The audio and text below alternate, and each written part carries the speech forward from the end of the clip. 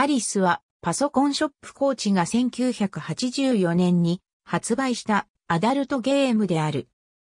プレイヤーはコマンドを打ち込むことで主人公のアリスを操作するアドベンチャーゲームで1980年代の日本におけるロリコンブームの影響を受けて制作された。パソコンゲームメーカーの PSK は1980年代前半にアダルトゲーム、ロリータ野球拳、ロリータに下校チェイス、ファイナルロリータといったロリータシリーズをリリースしており、その最中の1984年に発売したアリスも同じく PSK によるロリコンゲームの一つとされる。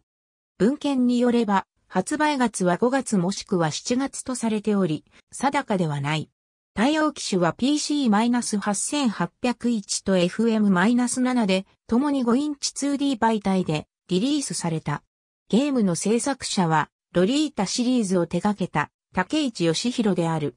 本作のイラストは、絵の輪郭線を最初に描画し、線で囲われた部分を後で塗りつぶすラインアートと呼ばれる手法を用いて生成される。ルイス・キャロルによる不思議の国のアリスの挿絵本作はイギリス人作家のルイス・キャロルが書き上げた児童小説不思議の国のアリスのパロディとして制作されたアドベンチャーゲームである。プレイヤーは主人公であるアリスをコマンド入力によって操作し、例としてレープ、ホゲホゲと入力することでホゲホゲを犯すことが可能になっている。アリスはバニーガールを追いかけているうちに不思議の国にさまよい込んだ設定となっており、プレイヤーはアリスを操作して不思議の国から抜け出すことを目指す。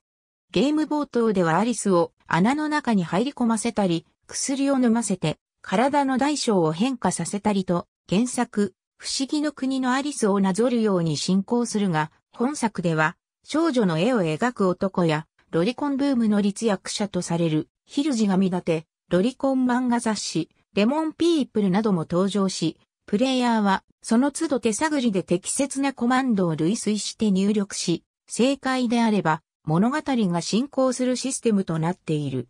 パソコンゲーム誌の編集者である、前田博之は、原作の不思議の国のアリスから乖離した登場人物やアイテムが出現する点についてユニークすぎると特筆し、もはや不思議というより混沌の国になっていると表現した。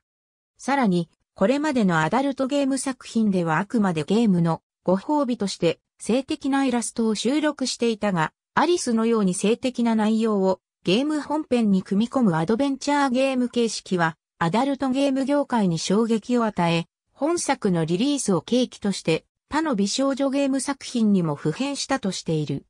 前田の公式サイト、電脳世界の秘密基地のライターを務める松田及び、アダルトゲームの歴史についてまとめた、エロゲー文化研究概論造法改訂版の著者である、宮本直樹は、コマンドを類推するシステムはプレイヤーに労力がかかったとしている。松田は本作を人名不可思議でおバカなゲーム、ミステリアスではなく、カオスと形容し、リリース当時は、ロリータコンプレックスを題材とした漫画の人気が高く、アリスはロリコン漫画を描いていた漫画家、東秀夫の画風や同人誌に影響を受けて制作されたとしている。